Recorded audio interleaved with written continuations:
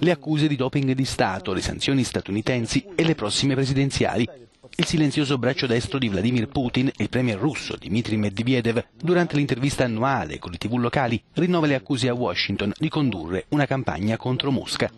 Lo scandalo doping, dice a una settimana dalla decisione del CIO sulla partecipazione della Russia alle Olimpiadi invernali, è strumentale. Эта тема стала абсолютно Abbiamo un problema e stiamo абсолютно lottando автономной contro questo темой. fenomeno, Значит, ma и questo допинг tema здесь è ormai имеет una там, questione ну, politica. 30% Il doping от этой pesa per темы. il 30%, Все il остальное resto это è solo политические manipolazione манипуляции. politica. Сfortunatamente questo tema è diventato quello principale per svolgere un'altra campagna contro la Russia. Secondo il capo del governo di Mosca, gli Stati Uniti sfruttano le sanzioni per inviare le loro forniture di gas naturale liquefatto in Europa.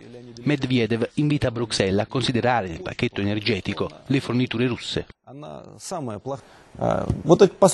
Le ultime sanzioni statunitensi sono volte direttamente a ostacolare le opportunità commerciali per il gas russo in Europa. Perché c'è questa posizione così cinica? America. Vogliamo trasportare il nostro gas naturale in Europa, ma gli americani dicono i russi stanno interferendo con i loro gasdotti e quindi li buttiamo fuori. Il Premier conferma anche il suo appoggio a Vladimir Putin per le presidenziali in programma il prossimo mese di marzo. Russia Unita dice vestendo i panni del capo del partito è pronta a sostenere un presidente di successo.